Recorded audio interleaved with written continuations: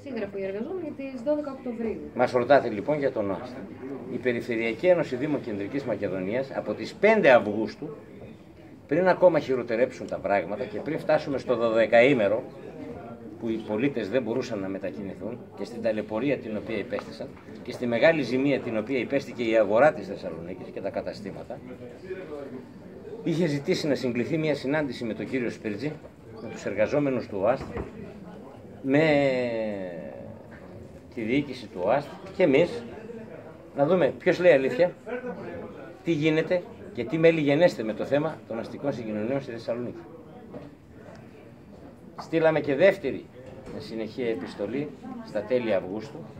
Προκαλέσαμε και συνεδρίαση στις 6 Σεπτεμβρίου του Διοικητικού μας Συμβουλίου. Καλέσαμε τον ΟΑΣΤ, ε, τη διοίκηση και τους εργαζόμενους και ήρθαν εδώ στο Διοικητικό Συμβούλιο Ούτε εκπρόσωπο έστειλε, ούτε επιστολή έστειλε, ούτε ήρθε ο κύριος Σπίρτζης, ούτε απάντησε στα αλλεπάλληλα αιτήματά μας. Στη συνέχεια όρισε στις 29 του μηνός μία συνάντηση, την οποία εν συνεχεία την ξεώρισε, την ακύρωσε δηλαδή πάλι ο ίδιος και δεν πραγματοποιήθηκε. Την επόμενη μέρα εμείς στείλαμε ξανά άλλη επιστολή και εμένουμε στο διάλογο, στη συνεργασία και στη συνεννόηση. Σε μια συνεργασία πέρα και έξω από την επικοινωνιακή παύλα προπαγανδιστική τακτική που έχει αγαπήσει πολύ και την οποία ασκεί ο κύριος Σπίρτζης.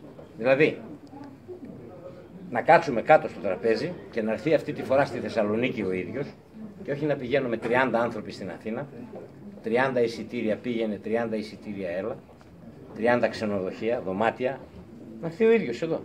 Με λειτουργούσες στις συγκοινωνίες χωρίς να ταλαιπωρείται ο λαός και να συζητήσουμε για αυτό το θέμα. Οι εργαζόμενοι έχουν δίκιο. Διότι τους εδικαίωσε και η ελληνική δικαιοσύνη για την νομιμότητα της επίσκεψη εργασίας που έκαναν. Δεν νομίζω σε αυτή τη χώρα κάποιος να έχει την απέτηση να δουλεύουν κάποιοι, να είναι απλήρωτοι τρεις μήνες και να συνεχίζουν να εργάζονται χωρίς να πληρώνονται. Αυτό είναι αδιανόητο. Η κυβέρνηση, ανεξάρτητα από το τι θέλει να κάνει και δεν μας το λέει με τον ΟΑΣΤ, να μας το πει και αυτό, κύριος Σπέτζη, αλλά αυτό είναι μια συζήτηση άλλη που μπορεί να γίνει, οφείλει τώρα, το γενινέχον δηλαδή όπως έλεγαν οι αρχαίοι Έλληνες, τώρα, τώρα, να καταβάλει με βάση το εφιστάμενο θεσμικό πλαίσιο και τις υποχρεώσεις τις οποίες έχει αναλάβει, τα χρήματα που οφείλει. Και συνομολόγησε στις 25 του μηνός Αυγούστου στο πρακτικό συμφιλιωτικής επίλυσης της διαφοράς δια της κυρίας ε, Πέρκα της Γενικής Γραμματέως και ο κύριος Νεφερλούδης από το Υπουργείο Εργασίας ότι χρωστάνε το 80% για τους μεταφερόμενους ε, αναπήρους, άνω του 67%, πολυτέκνους, ανέργους κλπ. Και αφού οφείλουν αυτά τα χρήματα και πρέπει το 80% να το καταβάλουν, να το καταβάλουν.